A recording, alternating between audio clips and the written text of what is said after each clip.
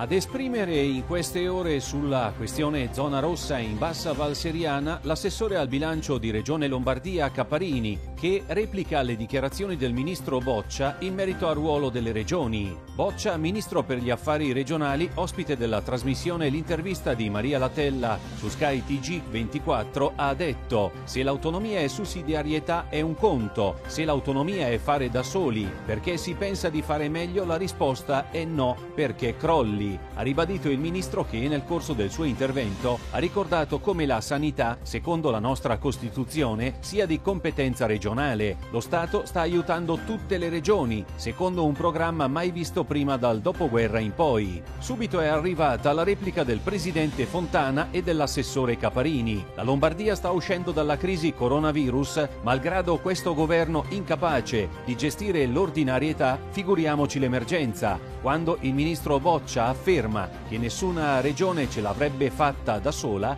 dice un'eresia.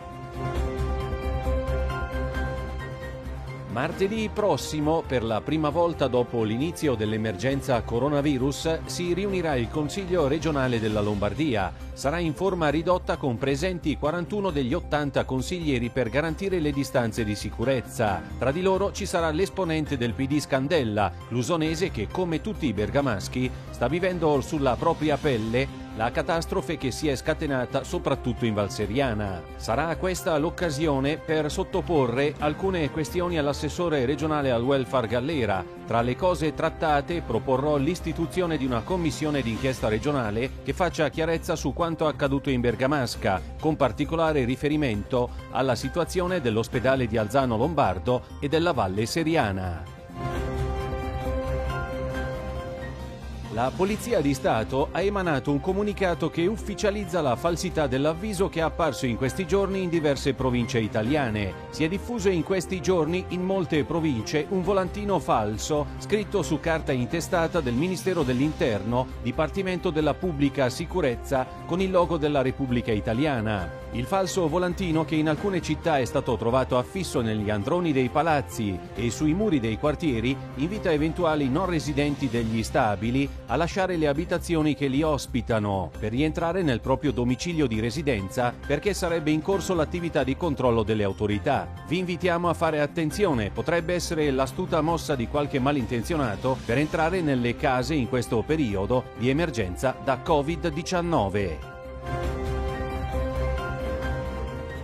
Dopo gli aiuti pervenuti dalla Cina, Russia e Cuba, anche l'Albania ha deciso di inviare 30 medici in Italia per l'emergenza coronavirus. I medici sono atterrati sabato a Roma e trasferiti a Bergamo nell'ospedale dell'Associazione Nazionale Alpini. I 30 medici si fermeranno in Italia per un mese e saranno pagati dall'Albania. Non potevo vedere l'Italia fronteggiare questa difficoltà, ha dichiarato il premier albanese Rama. Ad accogliere i medici sabato il ministro Di Maio.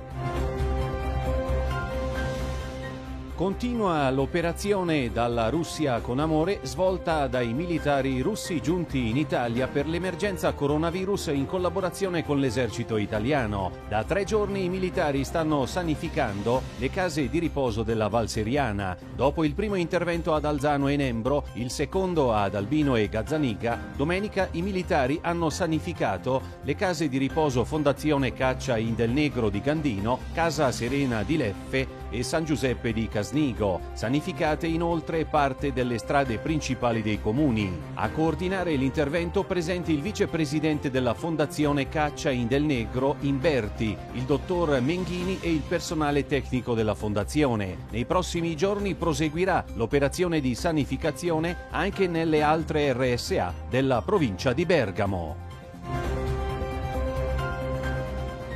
Il virus eh, si è portato via anche Flavio Marinoni, amico di Teleclusone, noto videoreporter e fotografo di Rovetta. Si è spento domenica mattina all'ospedale San Luca di Milano dove era ricoverato da alcuni giorni. A darne il triste annuncio il figlio Morgan che ci scrive Caro papà, sei stato un papà stupendo, meraviglioso, mi hai trasmesso la tua passione, fotografare con l'amore, cogliere quell'istante per renderlo eterno, mi hai dato tanto, mi hai reso la persona che sono, ti voglio tanto bene, hasta sempre la vittoria, il tuo bambino. Adesso mi prendo cura della mamma. Flavio aveva iniziato la sua carriera come fotografo girando il mondo per alcune agenzie giornalistiche per poi diventare un videoreporter, collaborando per le reti nazionali, fra cui la RAI. Fra le sue produzioni più note nel mondo televisivo, Donna Avventura. La redazione domenica gli ha dedicato la puntata ambientata in Terra Santa. Ciao Flavio, un saluto da tutti noi di Teleclusone e di Valseriana News.